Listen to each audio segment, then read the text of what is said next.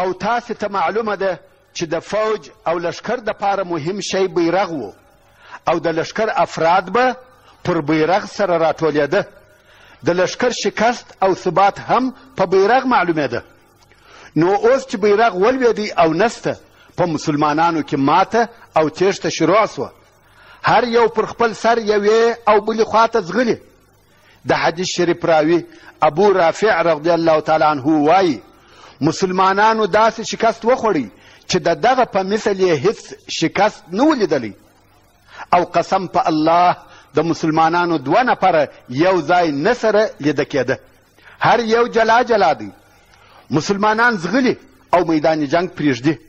په دغه وخت کې د مسلمانانو د پهلوانانو څخه یو قهرمان پهلوان چې ثابت ابن ارقم رضی الله تعالی عنه و او دی د هغو کسانو څخه دی چې و بدر ته حاضر سوی و وردمخه سو او ځان یې و بیرغ ته ورساوه د مسلمانانو بیرغ یې پورته کړي ورونو تاسې فکر وکړئ په دغسې حالت کې څوک بیرغ پورته کوي یا یې پورته کولای سي د مخه چې لښکر منظم وو نو د کم چا څخه چې به بیرغ وو د هغه پر شاوخوا به ډېر شدید امنیت نیول سوی وو صحابه کرام به پر راګرځېدلي وه او د هغه څخه به دفاع کول مګر اوس چې ثابت رضی الله تعالی عنه بیرغ پورته کوي نه څوک ورسره دي او نه د ده څخه څوک دفاع کوي لکه د مخه چې مو درته وویل چې مسلمانان دوه نفره هم نه دي سره یو ځای خو بیا هم ثابت رضی الله تعالی عنه بیرغ پورته کوي هغه مسلمانان چې په دغه منطقه کې وه او ویلې ده چې بیرغ پورته سو نو په کراره کراره و بیرغ ته ورنږدې کېده خو اول هغه څوک چې و ثابت رضی الله تعالی عنه ته راورسېدی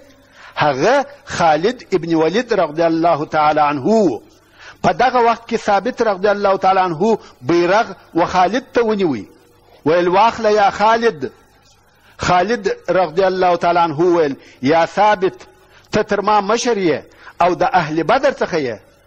ثابت ویل واخله یا خالد په والله ما نه کوي راپورته مګر ستا دپاره دا د جنګ میدان دی دا د بحث او نقاش وخت نه دی دا کار یو تجربه کاره سړی غواړي او ته د تجربې خاوند یې خالد رضی الله تعالی عنه هم نور دلایل و نه ویل او بیرغ یې واخیستی او هلته په مدینه منوره کې رسول الله صلی الله علیه و وسلم وفرمایل اوس بیرغ یوه سیف من سیوف الله خالد ابن ولید واخیستی او د دغې ورځې څخه خالد رضی الله تعالی عنه په سیف الله سره مسما سو یعنی د الله جل جلاله توره چې پر کفارو یې مسلط کړی دی اوس چې خالد رضی الله تعالی عنه بیرغ واخیستی بیرغ ښوروي او په لوړ آواز نارې وهي راټول سئ راټول سئ مسلمانانو چې بیرغ ولیدی چې بیا پورته سو نو سره راټولېده هغه تښتېدلو نفرو هم مراجعه وکړه او سره یو ځای کیږي خالد رضی الله تعالی عنه هم په تلوار او فوري شکل امرونه صادرول او اوامر یې په لښکر کې نشریږي په څو لحظو کې یې هغه تښتېدلی لښکر بیرته منظم کړي حتی رومیانو هیڅ فکر نه کاوه چې مات سوی لښکر دې بیرته سره یو ځای سي په څو لحظو کې دې هغه مات سوی او تښتېدلی لښکر بیرته سره راټول سي دا د هیچا و زړه ته نه لوېده کوم وخت چې لښکر سره یو ځای او منظم سو خالد رضی الله تعالی عنه امر وکړي چې د رومیانو پر لښکر یو ځایي حمله وکړي مسلمانانو هم پر رومیانو حمله وکړه هغه په تعجب کې سوه یوازې دا نه چې مات سوی لښکر سره راټول سو بلکې په نوې حمله یې هم لاس پورې کوي مسلمانانو په کفارو کې قتل او وژنه شروع کړه امام بخاري د خالد ابن ولید رضی الله تعالی عنه څخه روایت کوي چې وایي د مؤته په ورځ زما په لاس کې نه تورې ماتې سوې په لاس کې مې بې له یوې یمنۍ تورې بله نه سوه پاته لکه څرنګه چې د مخه مو درته وویل رسول الله صلی الله علیه و علیه وسلم هلته په مدینه منوره کې و خپلو اصحاب کرامو ته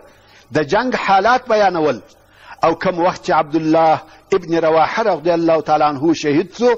او د مسلمانانو بیرغ ولوېدی رسول الله صلی الله علیه و آله وسلم وفرمایل چې عبدالله شهید سو او بیرغ ولوېدی بیا نو رسول الله صلی الله علیه و آله وسلم د څه وخت دپاره چپ او ساکت سو یقینا صحابه کرام وارخطا او غمجن دي رسول الله صلی الله علیه و آله وسلم ته ګوري او هغه هم څه نه وایي تر سترګو یې اوښکې بهیږي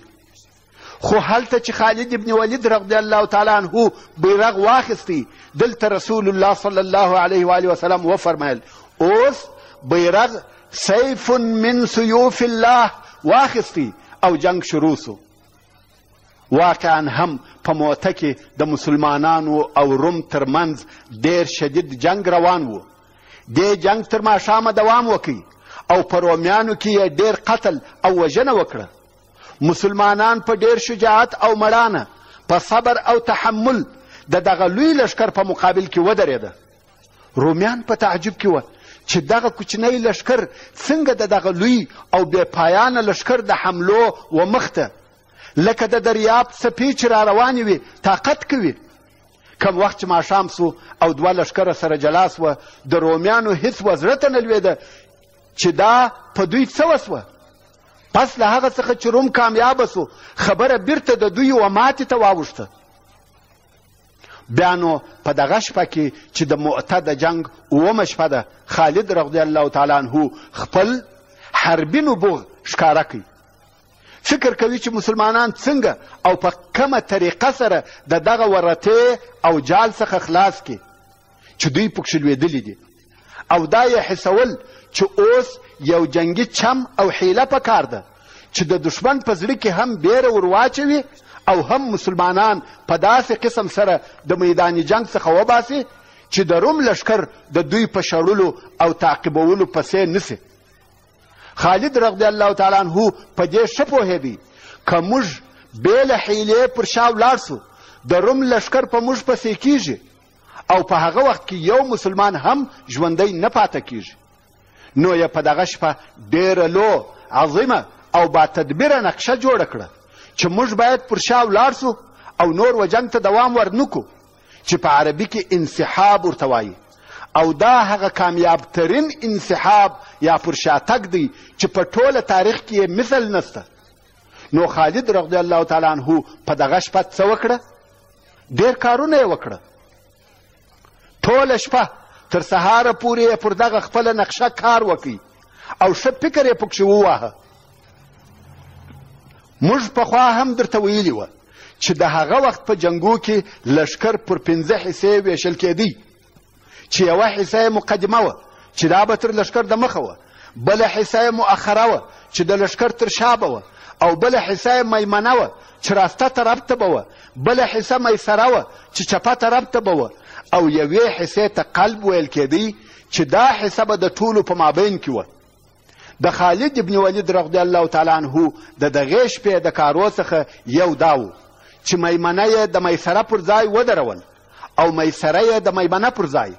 دا رنګ یې قلب مقدمه او مؤخره ټول د خپلو ځایو څخه سره واړول بل یې امر وکړ چې ټولو بیرغو ته تغیر ورکړي هغه بیرغونه چې د مخه په لښکر کې موجود وه او خلق پر راټولېده د ټولو بیرغو شکل او رنګ ته تغیر ورکړي او بیا یې د مسلمانانو څخه د سپرو یوه ډله امر کړه چې تاسې به په دغه شپه کې د مدینې منورې و طرف ته ولاړ شئ کم وخت چې ډېر ښه لرې ولاړاست تر داسې اندازې چې موږ تاسې نه وینو او تاسې موږ نه وینئ نو شپه به هلته تېره کړئ او سبا چې ورځ سوه تاسې به څه کوئ د هغه په باره کې هم پوره تعلیمات ورکړه هغه داسې تاسې به پر څو حصو تقسیم سئ یوه یوه حصه یا ډله به مو پس له نیم نیم ساعته پر آسانو سپاره د مسلمانانو و لښکر ته راځئ خو دغه راتګ به مو پر داسې لار وي چې خاورنه وي او ډېره دوړه کوي خالد رضی الله تعالی عنه دلته د پاته خلقو سره د جنګ د اوومې ورځې په سهار کې د جنګ دپاره آمادګي ونیول کم وخت چې سهار سو